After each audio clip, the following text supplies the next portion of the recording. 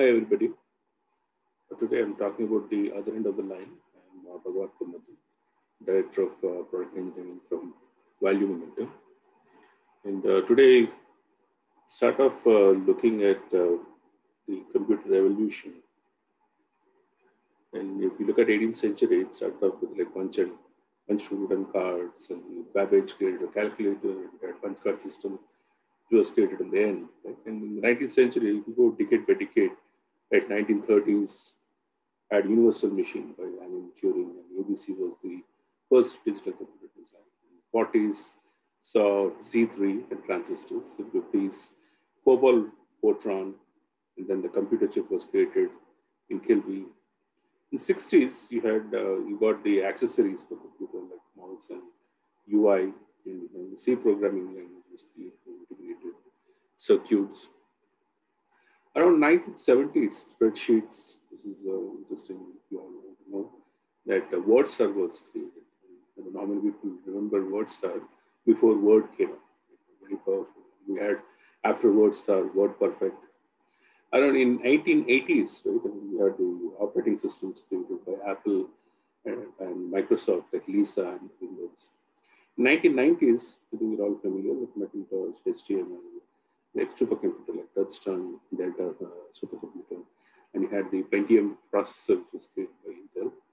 And Google came out with search engine, search engines uh, by, created by Sergey and Larry. And around uh, 2000 to 2020, we see Mac OS X, and AMD created uh, Athlon um, 64. And social media caught up, right? And you saw with Facebook having 1 billion users. And we have 2016, which was the year where quantum computing was first created. Coincidentally, I'm the founder of the first uh, quantum computing startup in India. And, so today, uh, the let's start looking at the quantum computing, right? how, how it evolved.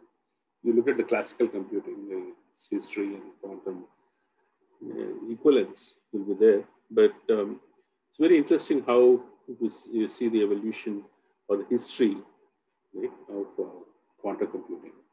So uh, this particular uh, picture I, is coincidentally from my book, Quantum Computing Solutions. And uh, it, it, talks about solving real world problems using quantum computing algorithms. You see the history in 1965, you had quantum electrodynamics, quantum physical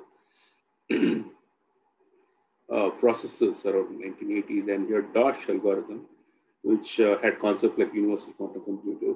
And you had Peter Shor's algorithm, which was primarily focusing on prime number factorization and trapped ion concept, which was found first in Eastern California. And you had quantum uh, teleportation in Grover's algorithm for uh, search in 1996. And uh, if you look at the future, right, how it's going to evolve, and let's start with the code, right? The number of bits in a 300 qubit quantum computer will be more than known atoms in the universe, according to Dr. Mandar Pandey.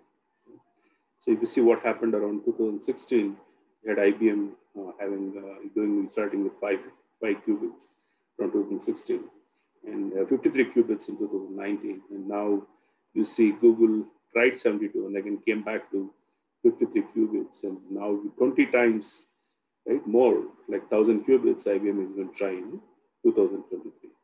So just imagine, right, 300 qubits can simulate more than known atoms in the universe.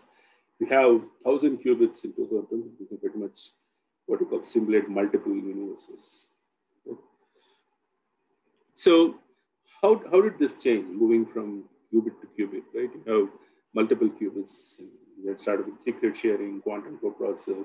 Then 53, we thought quantum supremacy was achieved. Then 150 qubits, saw quantum chemistry and machine learning algorithms can be used. Right? We're going to see that's going to happen. And in terms of the classical computer, I think everybody is familiar, right? We heard uh, have bits. Bits has one of the two states, like zero or one, right? You have quantum qubit, which can be zero, one, or any quantum superposition between zero and one. Right? And, uh, you have different gates, which are Hadamard gates and CNOT gates and X gate. And you can have uh, quantum simulators, algorithms, and solvers, and cryptographic algorithm using the the what you call quantum bit systems to solve the problems. So if you look at uh, the evolution, now moving on to quantum computation, right? And um, so before that, I just wanted to emphasize on the Moore's law and Rose's law. Everybody knows about uh, Moore's law. The Rose's law states that computational power of quantum computer doubles every 12 months. Now, quantum computation, right, and uh, you see quantum parallelism, quantum Hilbert space, and quantum entanglement, right?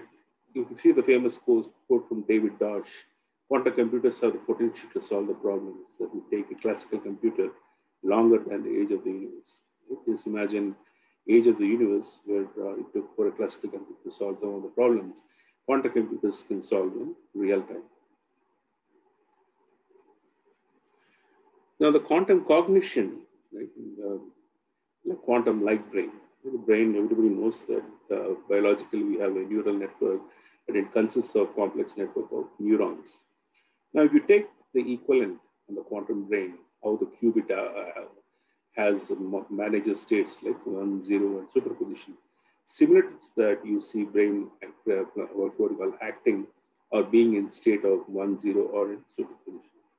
So that's where the superposition of mental states right, can be simulated by using complex network, networks of neurons. So one of the community which is evolving is the quantum cognition community, which is simulating pretty much the neural network, which is, which is a biological network, and creating a quantum-like brain.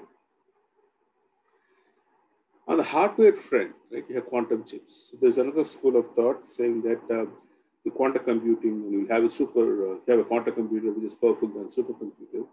But there is there is another uh, school of thought which thinks that quantum chips become really popular. Like you have IoT sensors, right? Quantum chips will be in almost everywhere, like nanoparticles, material discovery, used for chemical design, used for drug design, pattern recognition, right? It can be used for space tech, genetic science, universe discovery, and biometrics, and IoT devices can have quantum chips embedded right? So who knows, right? This can catch up really faster compared to the classical versus quantum computing and number of qubits and the whole another school of thought, right?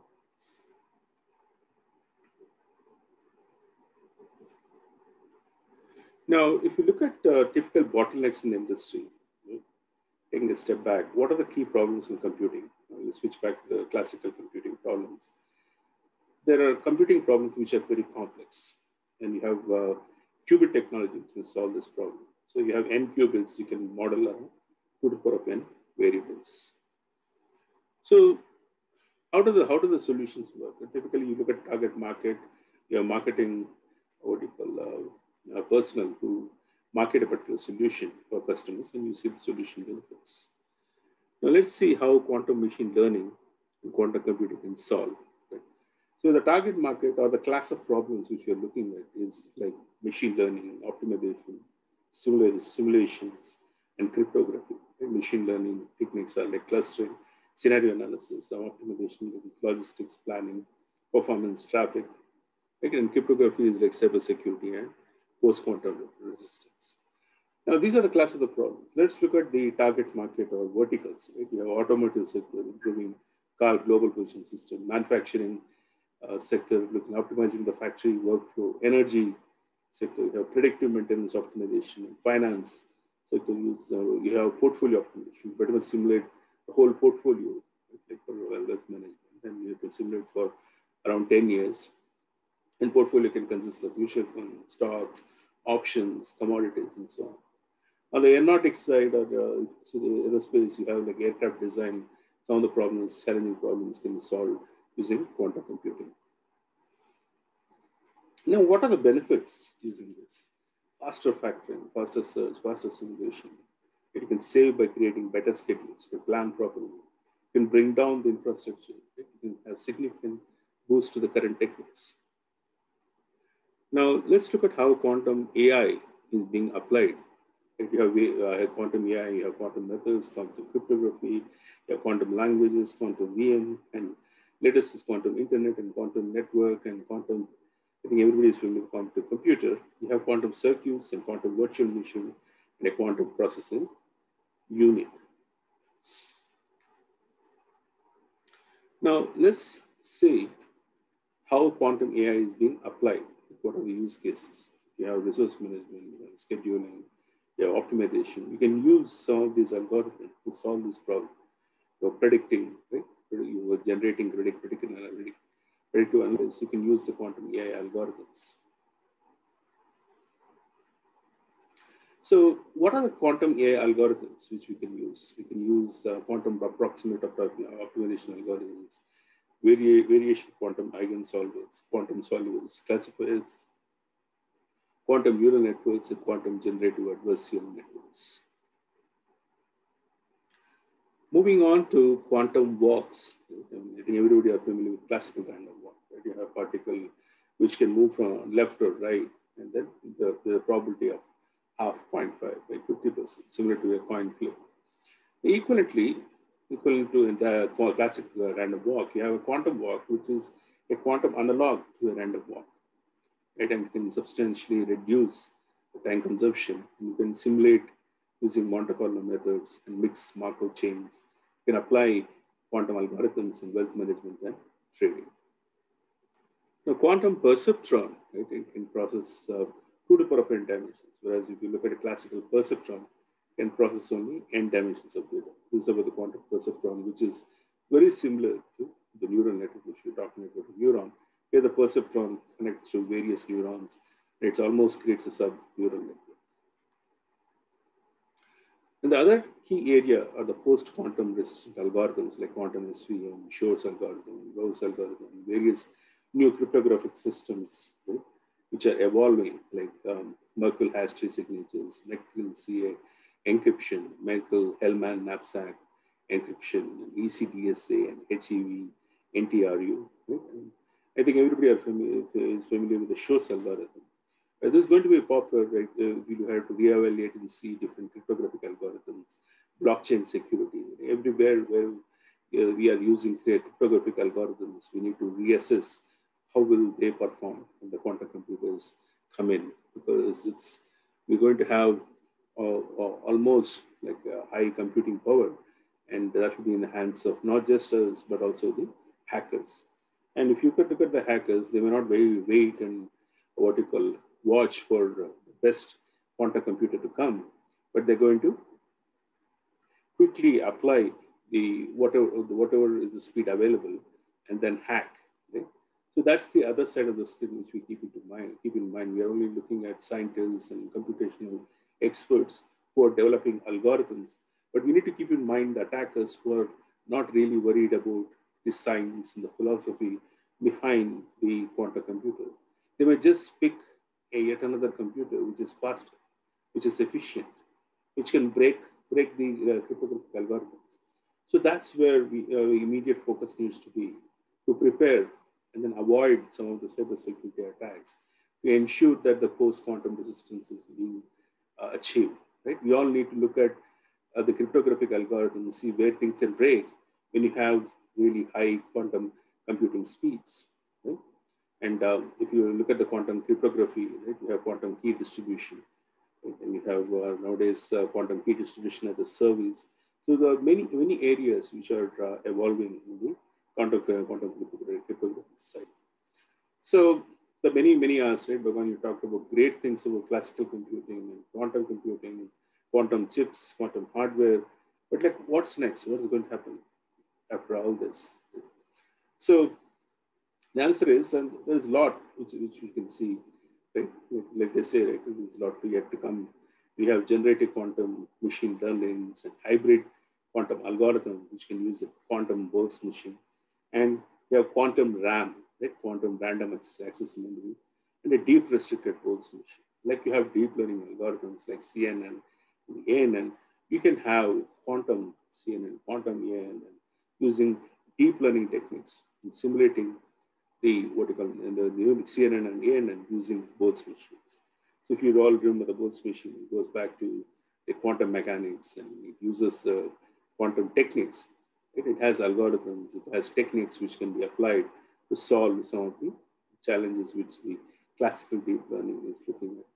And QRAM, I think you're all familiar with RAM. You know, QRAM will be more powerful because it access, it has power, it has memory, and which can access incoherent quantum superposition. Like we talked about one, zero, and handling multiple states.